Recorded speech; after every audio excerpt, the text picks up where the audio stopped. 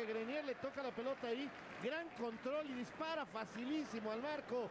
Pero Memo hace la primera tajada de gol.